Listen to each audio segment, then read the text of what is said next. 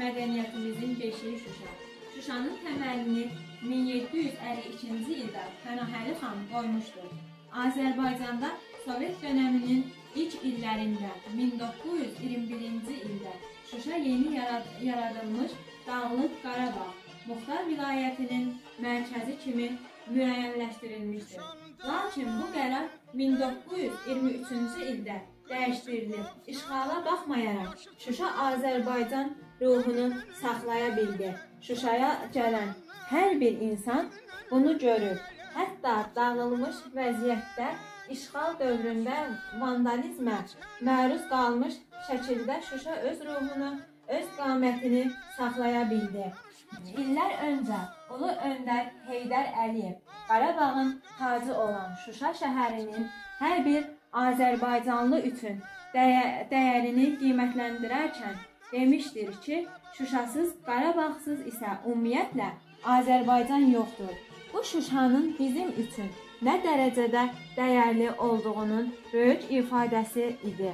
Qədim Şuşanın daha bir həsrətinə son qoyuldu.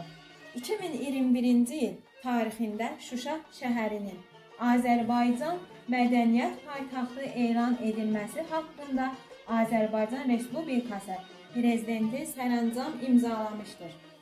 Şuşa Azərbaycanın ən qədim mədəniyyət şəhərlərindən biridir. Hamımızın bildiyi kimi ə, Azərbaycan gözəlliklər məskəni olan Şuşa, bizim cənnət məkanımız Şuşa ermənilərin gözünə bir ox olub batırdı. Onlar bizim gözəl Şuşamızı işğal etmişdilər. Ancaq ə, bizim Müzəffər Ali Baş Komandanlığının rəhbərliyi ilə Şuşamızı azad etdik. Şuşa bizimdir və həmişə bizim olacaq. Əziz Şuşa, sən azadsan. Torpağında yağı gəzmir. Dağlarının zirvəsində o qara buludlar əsmir. Gövhər ağa məscidindən ucalacaq əzan səsi. Daşaltısı, cıdır düzü müqəddəsdir hər bölgəsi.